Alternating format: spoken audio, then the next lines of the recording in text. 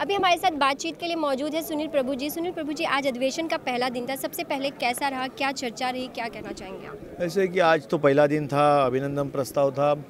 शासकीय विधेयक जो है, उसको सभागृह के पटल पर रखने का प्रोग्राम और उसके बाद शोक प्रस्ताव था। ये जो आज के कामकाज बताया गया था, वो तो अध्यक्ष महोदय ने पूरा कर दिया।